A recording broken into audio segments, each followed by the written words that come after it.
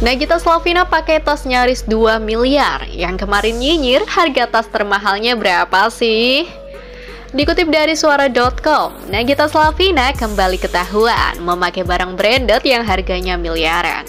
Informasi ini membuat netizen menyentil oknum yang belakangan menyenggol Nagita Slavina. Selama ini, Nagita terbilang sering mengenakan barang-barang branded berupa sepatu hingga tas. Harga koleksi barang branded istri Raffi Ahmad itu pun tidak main-main.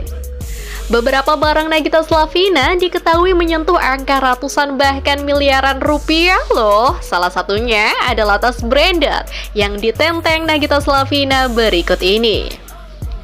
Dalam sebuah kesempatan, Nagita Slavina terlihat memakai Hermes yang dipadukan dengan baju cantik. Detail tas itu kemudian diulas oleh akun Instagram @fanpage Nagita Slavina.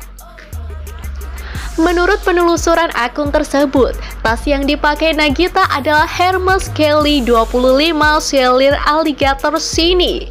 Tas tersebut dijual dengan harga 1,7 miliar atau bisa dibilang nyaris 2 miliar di situs Christie's.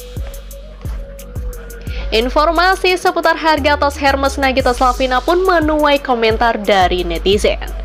Tak sedikit netizen yang kaget begitu tahu bahwa harga tas tersebut menyentuh angka miliaran rupiah. Itu berapa ya? Pusing aku, aku lihat harganya, celetuk netizen.